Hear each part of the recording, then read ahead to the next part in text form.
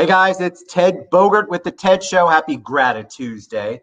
I have so much to be thankful for, including my co-host with the mostest, my co-hostess with the mostest, Kendra Davies with Stellar Life Coaching. Uh, today has been an interesting, fun, exciting day, but we're not here to Mm. talk about my day. We're here to talk it out. How are you, Kendra? Yes, I'm well, darling. I am well. Thank you for having me as always. I'm I so happy that it. you were able to make the switch. Yes. We changed our date a little bit because duty calls, and I have a four o'clock show on Wednesdays from now on. So Mhm. now we're three o'clock on Tuesdays. But this Making is it work. because I picked this topic. Normally, Yes. you pick the topic. So you guys know that means it's on Ted's mind if I pick the topic. And thank God Kendra was kind enough to um, humor me. Always. Always. And I think it's like super important right now, right? Like like there's a lot of opportunity to be all up in everybody else's business right now. Yes. So I think Yes. some self-reflection, some staying right sized and keeping the eyes in your lane on your prize is it's an important I- topic. You know how much I hate this, right? So one of the reasons why I like this topic is because I'm not a fan of stay in your own lane. Even though I Mhm. say that I'm a fan, I'm sorry, somebody's asking me to share it, so I want to share it. Um, the show. I I like to help. I'm a problem solver. And so problem Mm. solvers like me tend to get in trouble when we uh, don't stay in our own lane. And so, Mhm. what I want to talk about a little bit is how that thought process goes. You posted something really cool today, Michael Phelps. I'll let you uh, share it. Yeah. But I think people don't like. For me, I don't know what to do. If somebody comes to me for advice, then I want to see the advice through. That's not Mhm. necessarily what they're always asking for. Or if somebody wants me just to vent to me, I have a Mhm. difficult time staying in my lane and just allowing them to vent. Yeah. Um, so there's so many ways to stay in your lane and, like me, deviate out of your lane. Uh, but For I want to talk a little bit about that. So tell us your thoughts. Let's let's so dive. so the picture that i just posted is actually um, a michael phelps photo from 2016 in the olympics and um, it's one of his competitors watching him while they're competing and it's michael phelps laser focused on the finish line. And the caption is that losers focus on winners winners focus on winning right? And so this idea of staying in your lane when you when you brought up the topic this was the instant message that i got for me. But to the point that you were making it's so interesting uh, because as a coach people will come to me and they'll say i have this problem specifically. It's a problem with money or it's a problem with my ver- work or a relationship. And then like we peel back a few layers and it turns out that it's actually not really that problem. Yep. and so, as you're talking about staying in your lane, and when people ask you for advice and you want to see that advice all the way through, and you know, it doesn't sound like staying in the lane is actually important. It sounds like boundaries, one, is important. And it also sounds like asking if what people are actually looking for. Because i'm a doer too right? Like i'm action oriented this is what i do for a living. You know what i'm saying? You want to change your life? Call, call me. That's what we do right? Like. It's right there. let's go.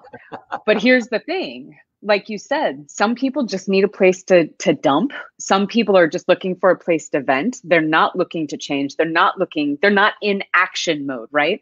And that's totally okay. What i've learned is that i have to ask hey so based on this conversation are you looking for feedback? Are you looking for suggestions? Or do you just want to talk? Like are you going to be in a position to even receive what i'm going to say right? Because a lot of times if i've got to say something hard like hey this is probably none of your business right? Like i think you're inserting yourself into a problem that's it's not your mountain.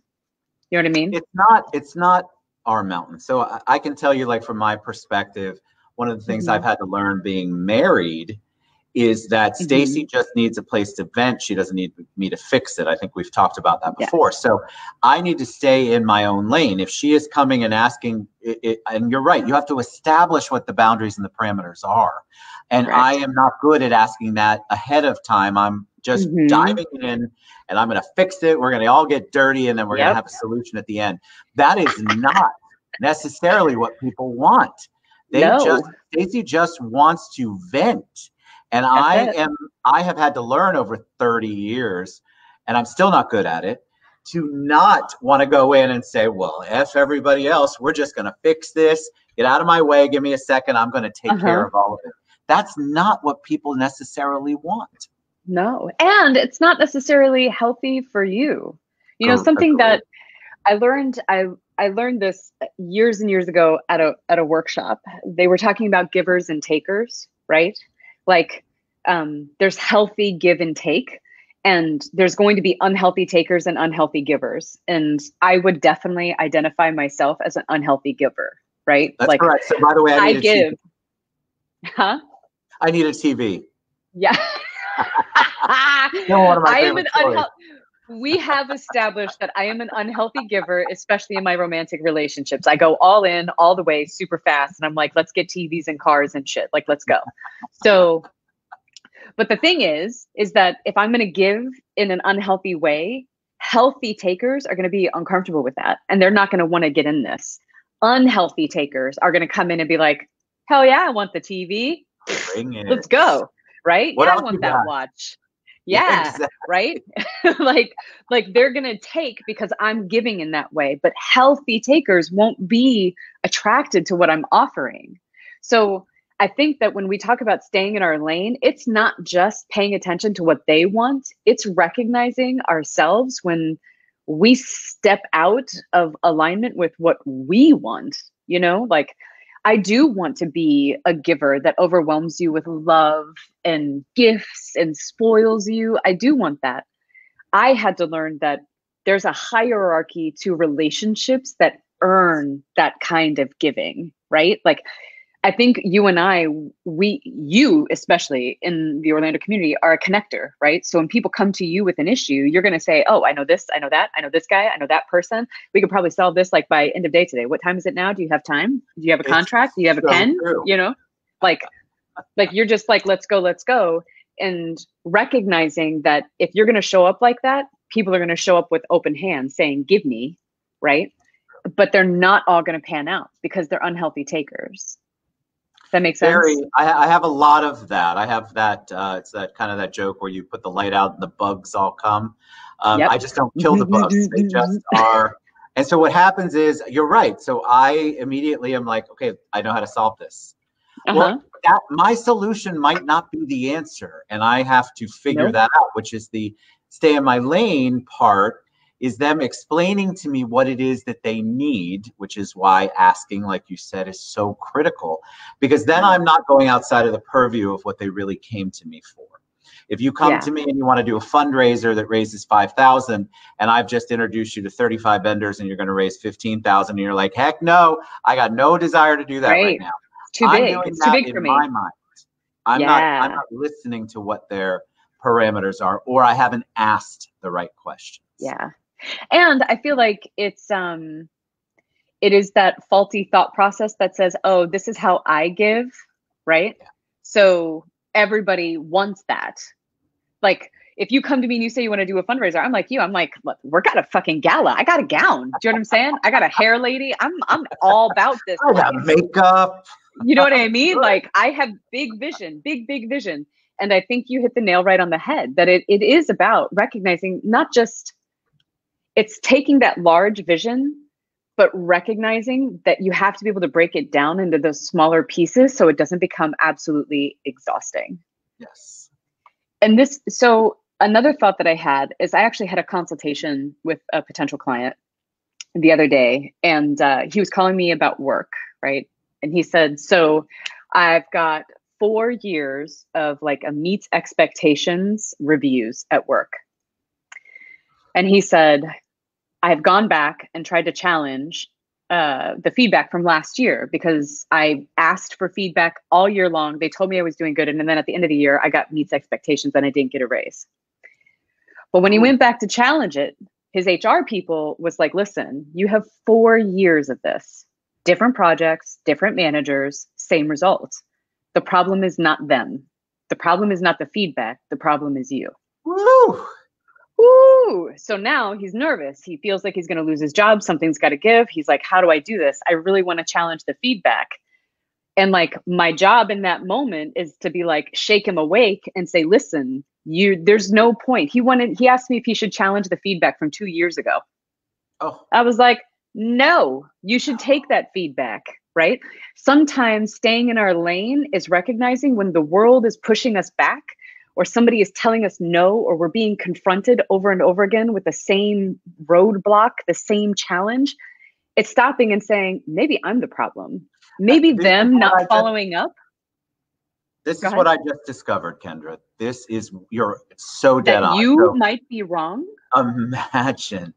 No. Hopefully this isn't recorded. Yes. So the thing is, is that I I don't want to. I don't necessarily listen to that feedback the way that I should. So if I Mhm. am the one that's stressed out or getting the negative feedback or not getting the feedback I want, and like you Mhm. said, it's all of these other outside people who have nothing to do with each other, and all of it points back to me. I'm the common denominator in this thing. Uh, I don't know who that they could be talking about. It can't be me, but I know it's me. And so, what I, Mhm. one of the reasons why stay stay in your own lane has come up, especially lately, is because projects that I'm working on, I'm getting redirected or hand slapped or whatever it is, Mhm. and I keep getting the same message, and I'm finally like, well, you're doing it dumb. That's not the right it's approach. you. It's, It's you. you. And For so sure, it's not me. Perhaps, my way isn't the right way for them. Why? I would like to know. say out loud for the record that I don't believe that that's actually true, but I'm going to hold space for you that it might be a possibility. I mean, you never, right? So here's the deal. You have, so I have to figure out, okay, if Mm. I step out of my lane, what are the repercussions? What are the consequences? What am I going to feel? How are they going to feel? Mm, It's more than just giving your advice or your expertise, quote Yeah. unquote. I also have to remind myself not everybody that asks for my advice really wants it. mm-mm. They don't. They just No. want to vent or they want to hear what they want to hear or they have an expected outcome of what I'm going to say. Correct. So I can't I can't in good Mm-mm. conscience blame them because I haven't set the parameters or the boundaries or I'm not paying attention to them. You know, I think one of the hardest spiritual awakenings, right? Uh, for me was the revelation that the problem might be me. like it is Such it is a truly speech. Truly spiritual experience like because it's humbling. It it takes you out at the knees. And i resisted man. I resisted. I fought to the bitter end. I thought that i'm right. I thought that i know. I thought i thought i thought i thought. And you know what it really came down to? Is that all of my thoughts were based on bullshit beliefs Yeah. but I had just bought into them and thought, you know, hey, I am, I am this. And so that means that I'm meant to do this in the world. And it was just a thought that I had a belief, and the world was being like, nah, I don't think so. I don't really think We're that's good. the one. And I was like, no, no, no, we can make this fit. I promise. Oh. But then the universe literally removed every single thing piece by piece. Like at one point, I'm living in my fucking car, resisting, white knuckling my way through. And I remember the moment where I broke and I was like, this isn't working. Like, I do not have the love I want. I do not have the relationships I want. I do not have the career I want. I do not feel satisfied. I do not feel content. I do not feel joy. I feel overwhelmed. I feel sad. I feel exhausted. I feel tired of forcing everything all the time. And to me, staying in my lane is saying, I don't fight anymore. You're right. Yes. Two plus 10 is five. Yes. A hundred percent. because as an 100%. intelligent human being, you know it's not true, but you're right. For your own mental health, your own well-being, your own direction, mm-hmm. everything about you, you have to learn to accept that. It, I'm Yeah. preaching that. I'm not saying I do it really well. Oh, no. I hear saying you. You have to do it. Well, I can Yeah. tell you to do it all day long. I just don't want to hear it about me. Of course. But you know, it's like what's for you is meant for you. Those projects that you're going to shine on are going to come to you. It's when we start white knuckling and like twisting and shaving off the edges, like you're breaking a sweat, sanding shit down, trying to make it fit, you know, like you're putting in more work. I remember I remember putting in more work than the people I was supporting, right? Yeah. Like like wait a minute, why why am I cold calling? what? Like this isn't even my project. Like why am I doing this? If why I am I? more because you wanted it more for them than they wanted it for themselves. this is brother. where I have the biggest issue is because I want it more for certain people and I am getting out of my lane to help them because I think that's what I Mhm. should do or that's what they need. They Mm. don't. They, They don't. don't. If, if they don't want it, then I shouldn't have to want it for them. And mm-hmm. so, and I can tell you, lesson. I feel like that thing that says they need me or they need it is like my ego. Cause I get that voice too. 100%. and it's just my ego i just don't want to be wrong you know like especially if i if i really buy into somebody's cause you know or like somebody's vision you know like i i, I work with people all the time who say you know i want to write a book i want to do a thing and then they tell me their ideas and i'm like holy shit this is going to be amazing. Like you're going to be a bestseller. Like you might be on oprah before me. It's like ted show today oprah tomorrow. It's happening right? Happens. like like that is the experience. But then it's like they're not there. And if i'm not mindful right if i'm not mindful of where they're at in the journey i get too far ahead they disconnect and they'll quit like Yeah. part of learning how to support people is learning how to support them where they're at. Like can i see you exactly where you're at? Not where i think you should be uh you know all of that nonsense. Like i want to see you That's where you're at. What resources do you actually have? What is going to be maintainable and sustainable for you? You know like if somebody comes in and they want to lose weight i'm not going to go into your nutrition right away. I'm going to talk about your fucking ideas about food. Like what do you think about food? Like are you pumped about broccoli? Like if you're not like we have to have a different conversation right, Right. so it's like i know how to meet people where they're at and i think that in my personal life i'm with you. In my personal life with my friends i'm like here's it all everything. Let's go. Here, you know what I mean? Exactly, exactly. But you know, I think staying right sized, keeping my ego in check, um, and making sure that I'm not doing it to fulfill something in me that gets some sort of validation that I'm more awesome because I did it. You know what I mean? Like when I I think- remember, I also think people, uh, one of the things I was thinking as you were speaking is that there have been times where I'm asked for my opinion, the parameters are there. I am giving them my advice, my expertise. That's Mhm. a one shot deal, people, which I'm having to learn. The next Mhm. time they may ask, and if I don't ask Mhm. about the parameters again, it could be a totally different set of rules. And so I Mhm. can't assume that because you wanted my input and my opinion on this issue, that the next one you want the exact same. And that's where I Mhm. tend to go, what the F? You asked me about this. This was so successful the last time you implemented mm-hmm. what we talked about. And now you don't want my opinion. Well, that's again back to me because I didn't set the boundaries for each particular thing. It's not necessarily about a relationship, it's about what they're trying to talk about at that moment or whatever the project. Yeah.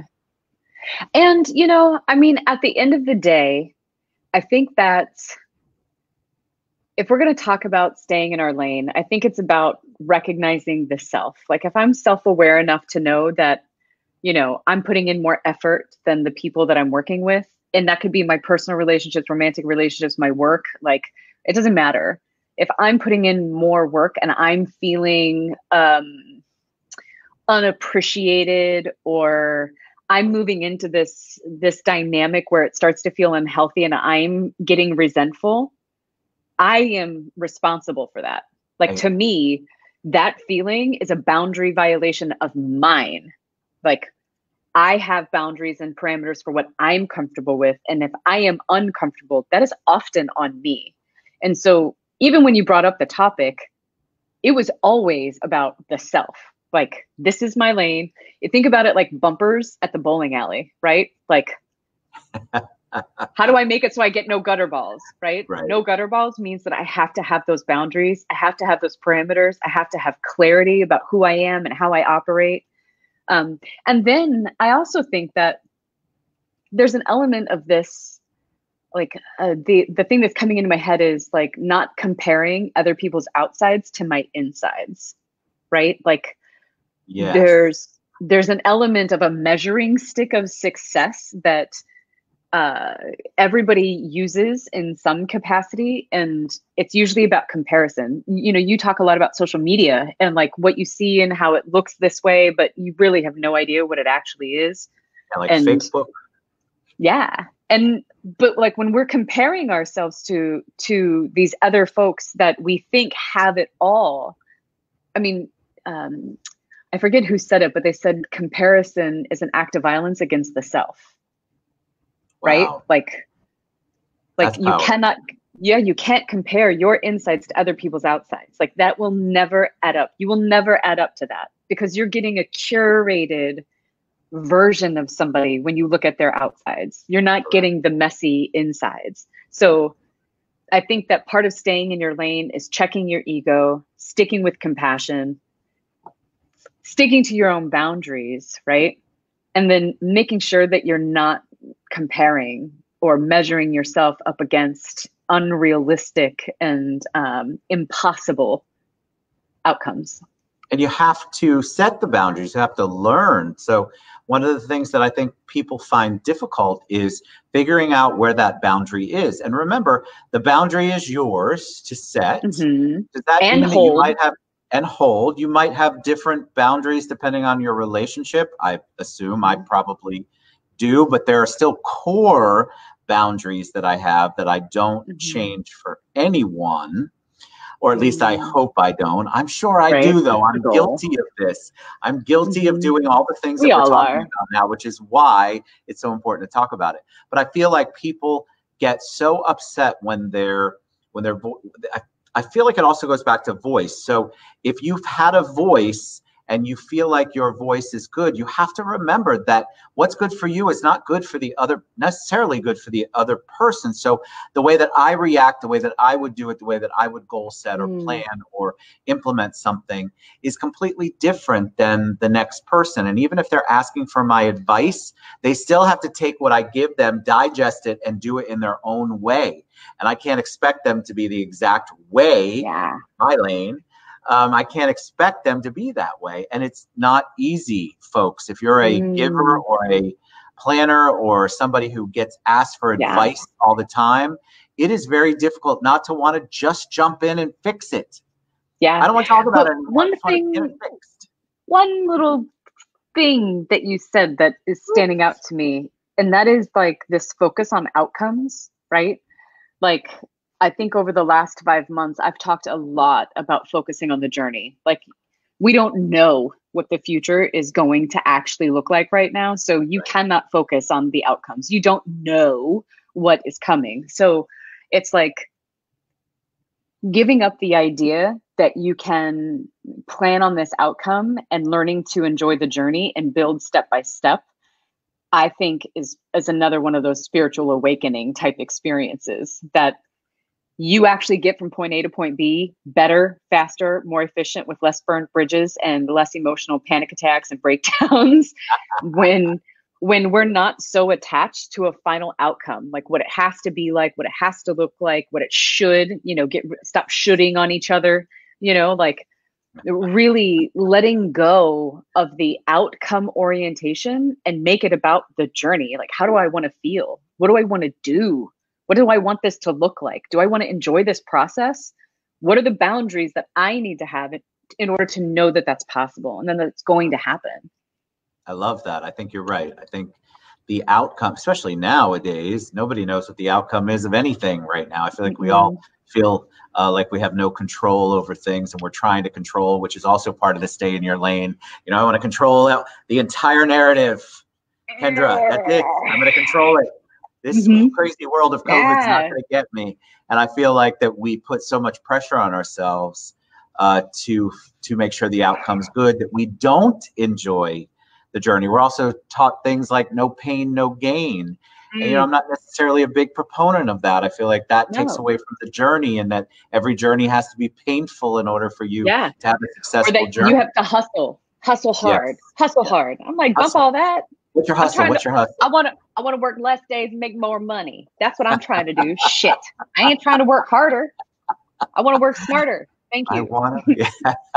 Mhm. but I, I I love your thought. I think it does all come back to you and the ego and the barriers and the boundaries that you set. Now, when I say that again, I, I I'm not doing it properly myself. Otherwise, I wouldn't have wanted to talk about this topic so bad. this is like my weekly therapy session. So thank you very much. It's just it's, it's, my very hard. I- pleasure. I appreciate it. It's it's I think it's on other people's minds though. I mean, you see that Yeah. a lot. I think people don't right now, especially in the unknown, people really are just trying to dip their toe into different things and they're getting burned and um, there's patterns and I think people just need to figure out kind of where you're at, but you have to establish it like you said so clearly. You've got to be the person who sets the boundary and the parameter. Yeah.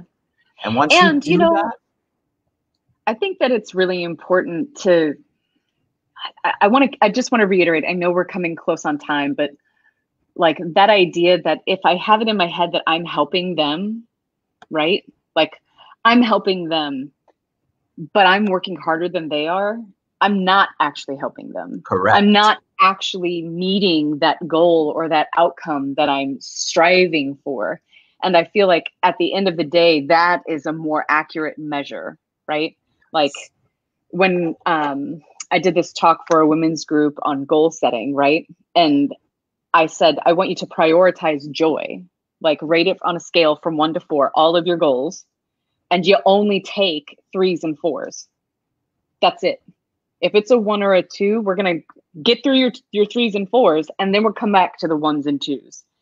And let me tell you, the amount of resistance that is met, right? When I'm just like, choose things that bring you joy.